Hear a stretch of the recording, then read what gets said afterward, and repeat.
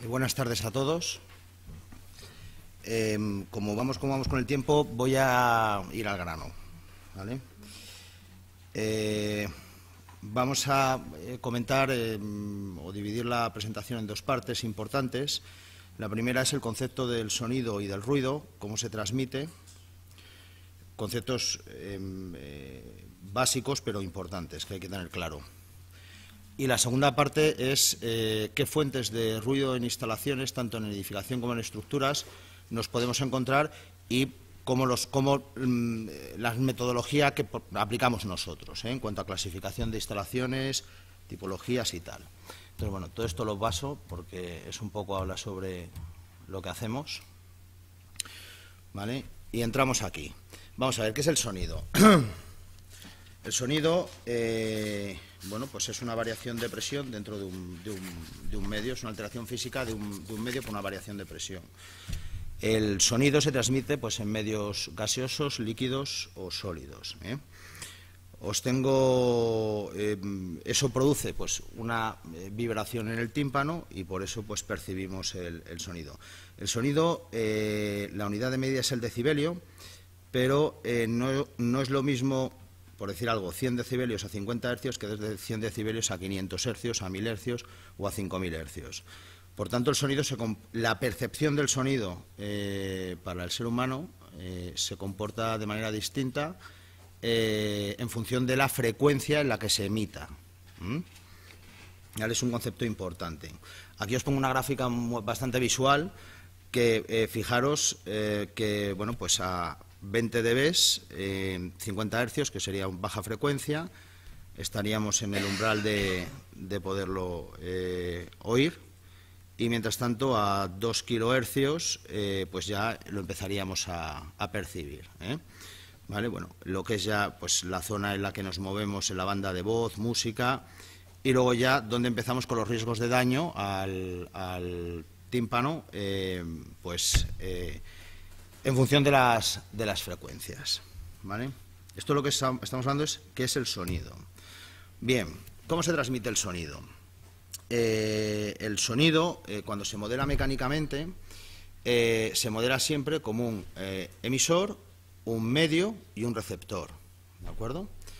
el emisor es la fuente del sonido, el medio es pues el medio de transmisión que puede ser un medio sólido, líquido o gas, como os comentaba antes, y, eh, el receptor pues es la donde el sonido incide. En definitiva, como es una eh, se puede asemejar a una es una energía, ¿vale? Pues eh, haciendo el el, símil energético, pues la energía sonora incidente pues es igual a la, a la reflejada cuando se le pone un obstáculo más la energía absorbida por esa barrera o ese obstáculo donde, donde choca, más la energía que atraviesa el, obstáculo. ¿De acuerdo? Bien.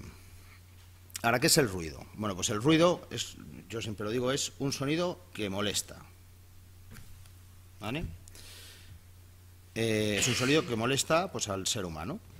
Entonces, eh, bueno, pues en base a esto, el ruido eh, se clasifica en dos grandes grupos, lo que es ruido aéreo y ruido de impacto. Esto es muy importante porque em, en función de si la fuente de ruido es de un tipo o de otro, o una mezcla de los dos, que puede ocurrir, las medidas correctoras eh, son distintas.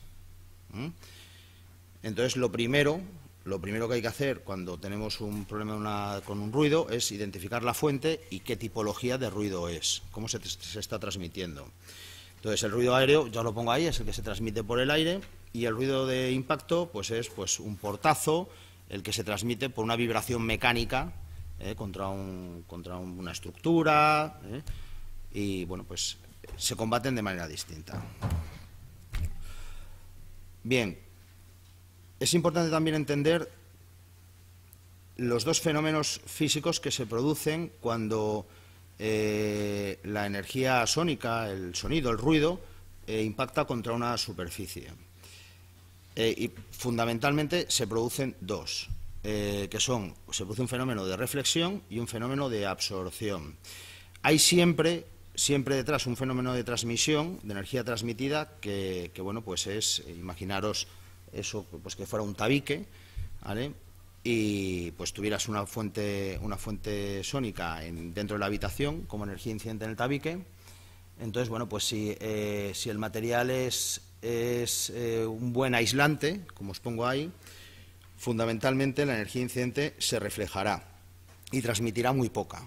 Hay que tener cuidado con esto porque podemos ocasionar, en función de, del tipo de energía sónica que incida, podemos, eh, esto puede derivar en fenómenos vibratorios y, por tanto, problemas de ruido de impactos. ¿eh?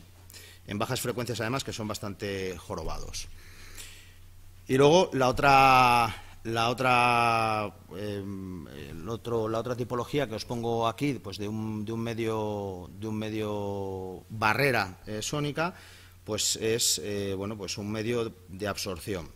¿vale? Pues, eh, pues es un material que fundamentalmente absorbe esa energía y deja pasar poca, hay algo siempre de energía reflejada. ¿vale? Y entonces ya veremos también que en función del, tipo de ruido será de aplicación un tipo de material u otro o una mezcla de ambos. ¿eh? Bien, aquí os, eh, os pongo un, resumen ¿eh? de pues la normativa, la habéis estado ya viendo con, los ponentes anteriores, pero bueno, un resumen de lo que de las variables, de los parámetros que influyen cuando eh, se mide eh, un aislamiento acústico a ruido aéreo o a ruido de impacto, que lo veremos en la siguiente. ¿Vale? Entonces, de lo que se trata aquí, para medir los aislamientos, cuando uno quiere aislarse eh, de una fuente de ruido, es pues que esa, esa, energía transmitida pierda la, menor, pierda la máxima energía posible cuando atraviesa esa, esa barrera. Entonces, bueno, pues eh, las maneras que tiene de expresarse, tanto en el código técnico como en los manuales de cálculo y normas UNE, son las que os pongo, las que os pongo a continuación. ¿no? Eh, el aislamiento, eh, te puedes encontrar a la hora de seleccionar aislamientos, pues te puedes encontrar gráficas que representan la, R en función de la frecuencia, en tablas o, o mediante un valor único, la R es W. Y luego tenemos los parámetros que definen eh, los aislamientos a ruido aéreo en dBAs, en decibelios en filtro A. Eh, bueno, pues eh, que esto, quien maneje el código técnico estará acostumbrado a, a estos parámetros. Tampoco voy a entrar en más, el desarrollo matemático está en el código técnico y las normas UNE. Bien, si os pongo aquí, a modo de, resumen, pues, por ejemplo, a mayor valor de resu A, tienes un mejor aislamiento os doy un resumencillo de esto. Eh, por otro lado está el aislamiento acústico a ruido de impacto. Eh, aquí el objetivo, el ruido de impacto, lo que genera eh, son una serie de vibraciones que se transmiten pues, a través de, la, de, estructuras, del, componente físico del, edificio o del, del tabique. Eh, y bueno, eh, lo que hay que hacer es interponer materiales que sean bastante elásticos eh, y absorbentes. Entonces, exactamente igual. El nivel de aislamiento a ruido de impacto, pues em, hay que tener en cuenta las características de la fuente de ruido, el tipo de objeto que está golpeando el suelo, ¿vale? y, la estructura sobre la que está, sobre la que está apoyado. Y los parámetros que definen el nivel de aislamiento eh, a ruido de impacto pues son estos de, aquí que os, pongo. La normativa acústica más importante que manejamos, que manejamos en España y, bueno, a nivel europeo son, son las normas las normas UNE y luego pues hay normas internacionales, eh, pues son el código técnico, el documento básico HR, luego está la directiva, la 2249 la Ley 37 de 2003, estos dos reales decretos, las normas de aplicación y sobre todo es muy importante porque en España está bastante desarrollado, sobre todo en ciudades, en grandes ciudades, Madrid, Barcelona, Valencia, eh, decretos autonómicos y ordenanzas municipales que son bastante restrictivas eh, y bastante a veces cuesta mucho eh, diseñar y cumplirlas, ¿vale? En Madrid, por ejemplo, tenemos una, ordenanza municipal bastante potente y los, servicios técnicos municipales pues prestan mucha atención a todo el asunto del ruido. Bien.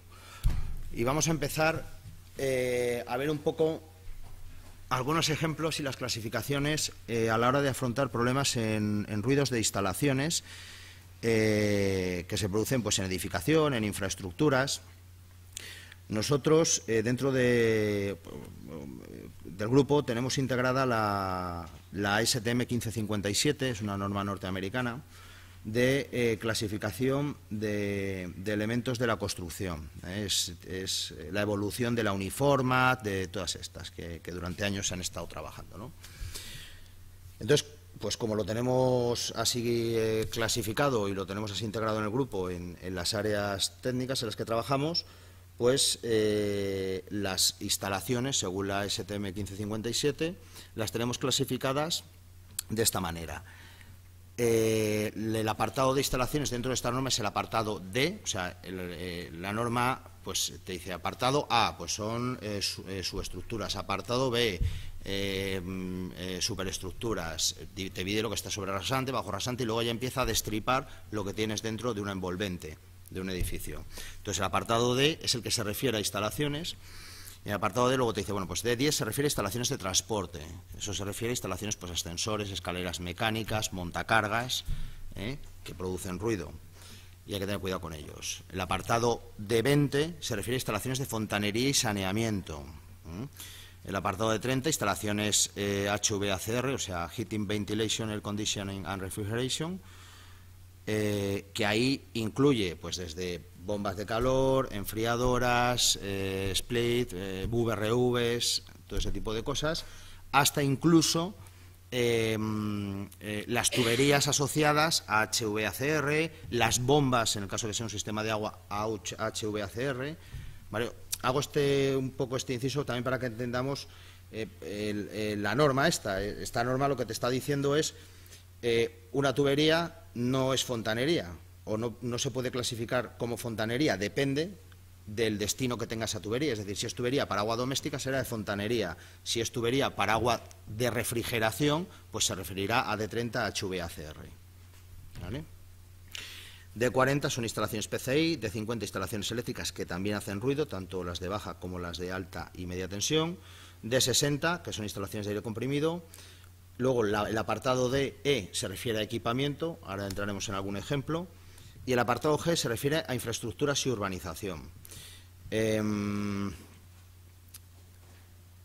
la norma, en este caso, en, el apartado, o sea, distingue lo que son instalaciones dentro del edificio que estén colgando del edificio, ¿vale? Por ejemplo, pues yo que sé, una farola que esté anclada a la fachada del edificio, y lo que son instalaciones que pertenecen a infraestructuras eh, o urbanización, lo que sería pues una farola dentro de una urbanización, sería del tipo G. ¿eh?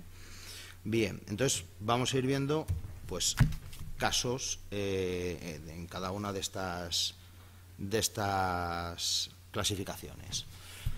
primero, de 10 instalaciones de transporte, como hemos dicho, se refiere a ascensores, escaleras mecánicas. Es muy típico en los edificios bueno, pues que haya problemas de ruido con los ascensores incluso con los sin cuarto de máquinas que existen, que existen hoy en día, o incluso con el cuadro de maniobra. Este tipo de ruidos pueden ser ruido aéreo o ruido de impacto. Por eso hay que ver muy bien cuál es la fuente de ruido para poder eh, atajar el problema. Entonces, pues posibles orígenes que tienes con el asunto de los ascensores, que es muy típico, pues la máquina del ascensor, el motor, que suena. Suena, pues por ejemplo, aquí os he puesto alguna, alguna foto, no sé si veis los amortiguadores que lleva esa máquina, en el cuarto de máquinas, con la bancada esa metálica.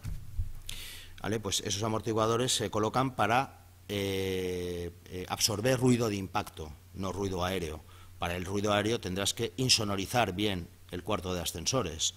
¿eh? Luego tenemos, por ejemplo, ruidos debidos al propio cuadro de maniobra, sobre todo los cuadros antiguos, eh, que son bastante típicos en, los edificios grandes y antiguos de, pues de Castellana, pues lleva todavía contactos eh, gordos de estos antiguos que hacen clac, clac, clac, clac, clac, clac. Pues claro, eso, si tienes un despacho al lado o una sala de conferencias al lado, eso se escucha. ¿eh? Entonces, pues la transmisión de ese ruido, que sería ruido aéreo, eh, en este caso, habría que eh, insonorizar convenientemente el cuarto de, máquinas o insonorizar el cuadro. Poleas también pueden producir ruido, las poleas de los ascensores.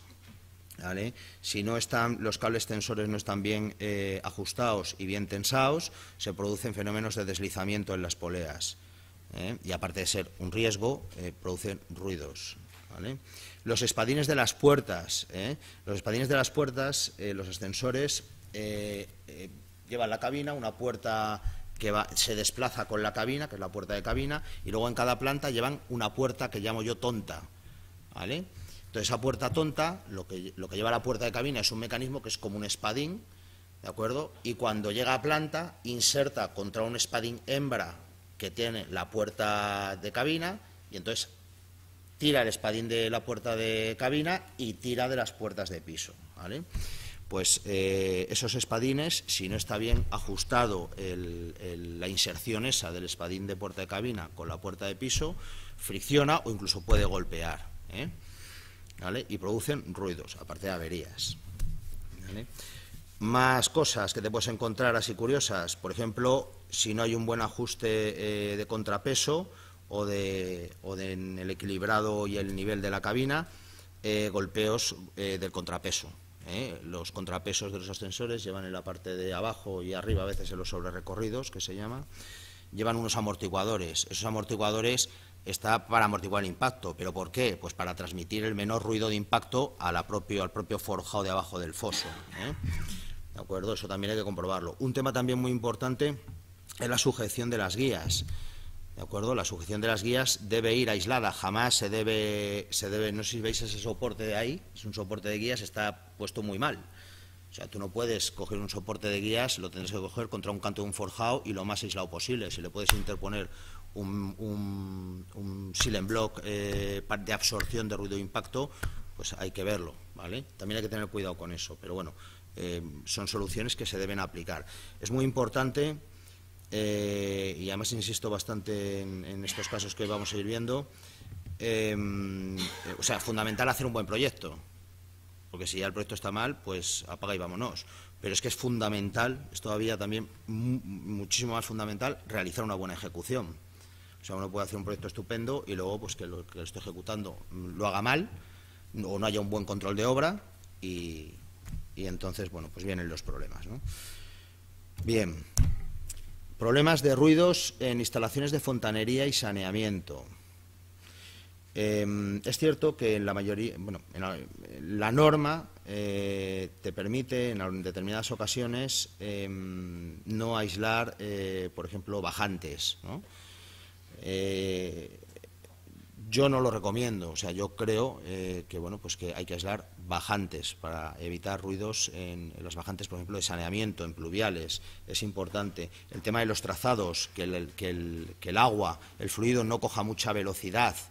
¿vale? Pasa lo mismo eh, con la transmisión, lo veremos en, instalaciones HVAC. Uno de los graves problemas que hay en las instalaciones HVAC es que cuando eh, uno calcula y diseña y proyecta y calcula la sección y tal y tal y tal y tal, pues resulta que pues a veces se tiene poco cuidado en las velocidades del aire que van por los conductos o de salida de las rejillas o los difusores. Eso genera unas, molestias terroríficas, no solo a nivel de disconfort térmico o de que bueno están reguladas, incluso las velocidades del aire con el RIT están reguladas y con las normas UNE están reguladas, no se pueden sobrepasar una serie de, de, velocidades, eh, pero en ruido. El aire silba si va a mucha velocidad. Y luego resolver esas papeletas pues es complicado ¿eh? cuando ya está ejecutado. Entonces, posibles eh, problemas que podemos tener en instalaciones de fontanería y saneamiento, pues desde vibraciones de bombas, de grupos de presión de AFS, de agua fría sanitaria, inexistencias de trasdosados, Cuando se monta una, una, se pone una montante, una bajante, pues que no le coloquen un trasdosado. Hay un tema aquí importante que tampoco, o sea, hay que tener en cuenta. No podemos, eh, eh, cuando uno coloca un trasdosado en un, por ejemplo, una bajante de un saneamiento, eh, bueno, pues está bien, es lo que hay que hacer y fenomenal. Y si va aislada, muchísimo mejor. Pero dices, bueno, pues voy a ser la pera y voy a colocar otro. Pues no duplicas el nivel de aislamiento. Me explico, es decir, no por colocar más barreras, hacer más gordo la barrera de aislamiento, no, no, lo estás mejorando. ¿Vale? En muchos casos incluso puede hasta empeorar. ¿eh? Entonces eso hay que calcularlo, hay que colocar lo que hay que colocar, ni más ni menos. ¿vale? Bien, otro tema importante que hay son las deficiencias en sujeciones y soportaciones. Es importante que las sujeciones y las soportaciones estén calculadas, estén correctamente ejecutadas y estén, eh, y estén aisladas en muchos casos. ¿eh? Si una instalación pequeña pues no es tan grave, pero en instalaciones grandes es importante que, estén bien, bien aisladas. ¿eh? El tema ya que como hemos comentado de velocidades y tal. Bien. Instalaciones HVAC. Eh, bueno, pues ni qué decir tiene. Lo que hemos comentado del asunto de las velocidades del aire, por ejemplo, en conductos, difusores y rejillas, es importante tener cuidado con eso.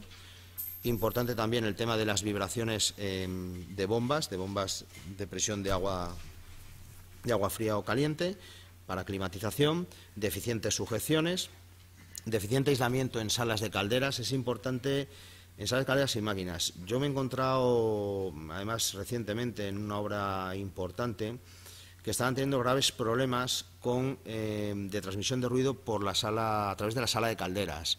¿eh? Llevaba dos calderas bastante gordas y los quemadores, cuando, cuando eh, entraban en funcionamiento, hacían muchísimo ruido, había mucha transmisión de ruido aéreo. Pero luego había otro problema también importante, y es que había mucha transmisión de ruido entre eh, los equipos de bombeo de, instalaciones HVAC y eh, pues eh, algunos intercambiadores de calor estáticos que tenían en la sala de calderas, porque tenían una térmica pinchada en paralelo y tal, ¿no? Y entonces resultaba que, dice, no, bueno, la fuente de ruido es que vibra el, el intercambiador, ya macho, pero vibra porque vibra. O sea, pues claro, resultaba que vibraba porque se estaba transmitiendo tenían las bombas una deficiente bancada y, se estaba y unas deficientes eh, amortiguadores de, salida de tubería y se estaba transmitiendo la vibración de esas bombas a través de la tubería al, al intercambiador de calor estático. Como estaba pegado a una pared, vibraba y estaba golpeando la pared. Entonces ahí había llegado un iluminante y había colocado un trozo de corcho, que bueno, no está mal, pero la solución es resolverlo a origen, es decir, colocar unos amortiguadores en condiciones y resolver la fuente de ruido que se estaba transmitiendo. ¿eh? Un tema importante también son los fenómenos de cavitación. Los fenómenos de cavitación también, aparte de estropearte eh, las bombas, eh, te pueden transmitir ruidos a través de toda la red de, agua HVAC. Bueno, aquí os he puesto un par de ejemplos. Pues una máquina eh, que, bueno, pues eh, que no tiene, eh, está medio apoyada ahí en la pared esta y no tiene unos, unos amortiguadores, unos buenos silent block. Y bueno, pues en la parte de abajo que tampoco tenía, tampoco tenía unos buenos amortiguadores. Los amortiguadores no vale cualquier amortiguador para cualquier aplicación. Los fabricantes, cuando tú vas a seleccionar un amortiguador a ruido de impacto para una bancada o una máquina, hay que tener en cuenta las características de cada amortiguador ¿eh? y en función de a las frecuencias que vayas a funcionar eh, con el equipo y las que calcules que se van a transmitir, pues seleccionas uno u otro. ¿eh? Bien, seguimos. Bueno, aquí os he puesto una gráfica ¿Veis lo que os decía de los de los eh, de los son amortiguadores dilatadores? Cuando se trabajan altas con tuberías eh, que se prevé que pueden eh, vibrar mucho o trabajar con temperaturas muy elevadas en las que puede haber movimientos longitudinales o, transversales, pues se colocan un tipo de amortiguador u otro. esas pelotitas negras que veis ahí embridadas en esa esquina de allí. ¿vale? Eh, ah, bueno, un tema importantísimo que se me ha pasado, lo acabo de ver al ver esta foto. Eh, un tema importante también por el que se transmite bastante ruido es el paso de instalaciones a través de eh, fábricas de ladrillo, tabiques, estructuras, todos esos pasos de instalaciones deben ir con su pasatubos y aislados acústicamente. ¿De acuerdo? Porque el ruido se escapa por cualquier sitio. ¿Veis esa tubería verde que han cogido y han hecho el agujero, en plan pasado y luego ha venido el albañil y la ha dejado estupendamente bien empotrada, ¿no? Pues eso es un problema. ¿eh? Eh, más, aquí por ejemplo os pongo arriba un detalle de soportación de tuberías colgadas. Si veis, está bastante bien hecho. ¿eh? Lleva una soportación, unas sujeciones a, a las propias tuberías, pero luego esa sujeción principal lleva unos amortiguadores colgados para no trasladar la vibración a la correa de arriba. ¿eh? Eh, bueno, os, pongo aquí una, una, una, gráfica en la que bueno, pues, se ve el fenómeno de vibración en base máquina, es decir, medido en, sobre la máquina directamente, y luego, eh, aquí en morado, en base bancada, añadiendo estos amortiguadores. ¿eh? Veis, bueno, las reducciones que tiene en función de la tipología de ruido de, ruido de impacto que se produzca, de vibración, y el amortiguador que se seleccione, pues esta gráfica varía, ¿no? Estas, gráficas varían.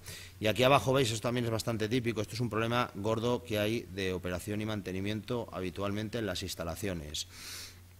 Eh, pues nada, que aquí no ha mantenido ni Perry eh, el amortiguador. O sea, esto pues los amortiguadores no son infinitos eh, y tienen pues una vida que es la que tienen. Entonces este tipo de cosas hay que revisarlas en operación y mantenimiento y sustituirlas en su caso. Bien. aquí os he puesto otros ejemplos pues estos son unas máquinas de climatización y bueno pues les han metido unas barreras unas pantallas acústicas, eh, bueno, pues para que evitar que el ruido traspase. Eh, aquí, bueno, pues hay otro, otro caso, el, este del, de, bueno, esto es una chimenea, el dibujito ese que veis ahí, y que al, al sombrerete le han, de la chimenea le han puesto, pues lógicamente, un aislamiento de fibra de vidrio. Esto parece mentira, pero eh, yo lo he visto en muy pocas instalaciones y es la manera correcta de ejecutar una salida en una chimenea o en un pues colocar un aislamiento, porque si el, si el aire sale a mucha velocidad, produce eh, vibraciones y silbidos, eh, que se transmiten de manera aérea luego. Luego aquí abajo, os he puesto pues que han hecho una bancada estupendamente rígida, cogida la estructura sin ningún tipo de nada de nada.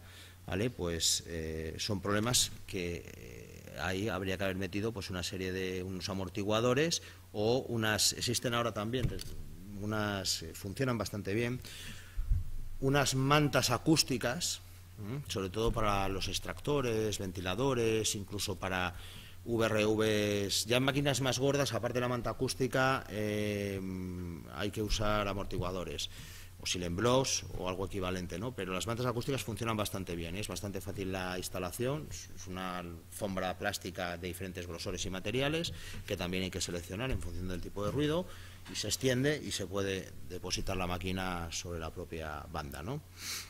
Aquí, por ejemplo, esto es una bancada en, un Carrefour, eh, bueno, pues en el que, como veis ahí, aquí, ¿vale? Pues les han puesto sus eh, correspondientes amortiguadores. aquí veis, por ejemplo, unos grupos de bombas HVAC que llevan sus, eh, bueno, sus dilatadores amortiguadores en las tuberías. ¿Vale? Bien, Instalaciones PCI. Bueno, instalaciones PCI, fundamentalmente, los ruidos que nos podemos... De PCI, protección contra incendios.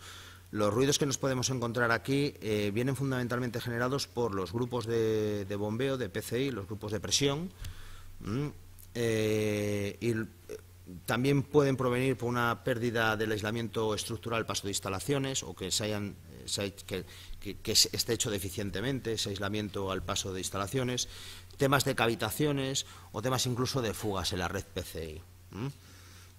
Es un poco el origen del problema. Aquí al final estamos manejando agua en protección contra incendios en estos casos. Entonces el origen del problema pues lo vas a tener eh, o va a ser muy similar a instalaciones de agua de HVAC.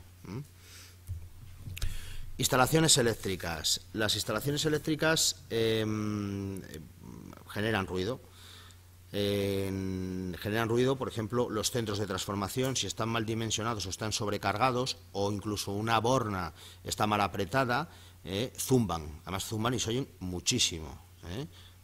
El sonido es, bastante desagradable. Eh, otra cosa, otros problemas que nos podemos encontrar en, ya en, edificación, en residencial y terciario,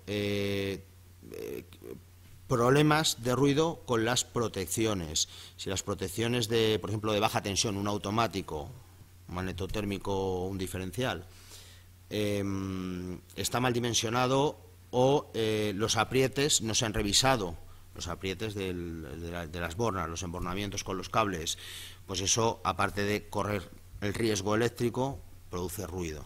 ¿eh? Y a veces bastante molesto.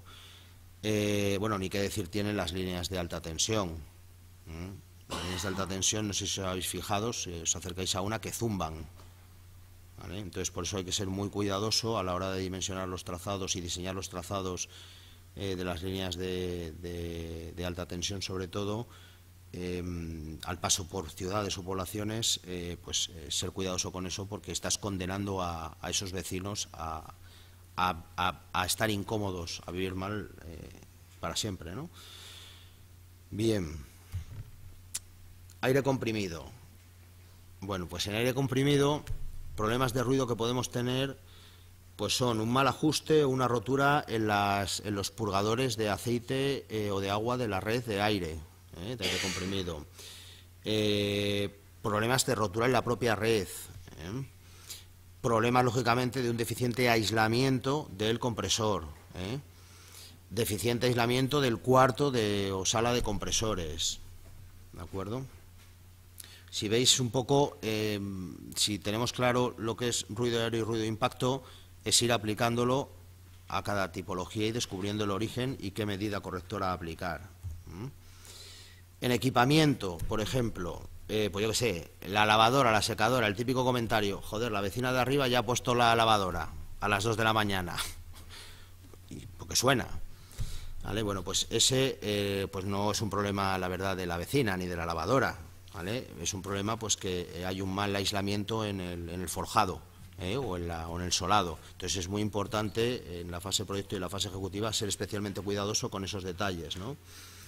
Aquí os pongo un detalle de una, de una, bueno, pues de, una ejecución de un, de, un, de un, solado con un forjado y, un, y una pared. ¿no? Cómo no se debe hacer y cómo se debe hacer. Bien. Eh, problemas de ruido en infraestructuras y urbanización. Bueno, pues esto es lo típico que hemos visto en, mil sitios. Las barreras fónicas que se colocan en las carreteras. Eh, si os fijáis, la barrera fónica es un vidrio, o a veces es un vidrio, eh, un vidrio además con mucha rigidez. ¿Por qué? Porque en una carretera la transmisión del ruido hacia unas viviendas o una urbanización suele ser transmisión por ruido aéreo. Entonces interesa que ese ruido rebote y vuelva para la carretera. ¿de acuerdo? Estas de aquí. Si se prevé que va a ser, eh, pues yo qué sé, porque va a haber un tráfico pesado de camiones muy, muy, eh, de manera muy continuada, pues te, puedes, te debes ir a otro tipo de barreras en las que se produzca también algo de fenómeno de absorción del ruido, porque se pueden producir fenómenos de ruido de impacto. Y ya está, yo ya he concluido.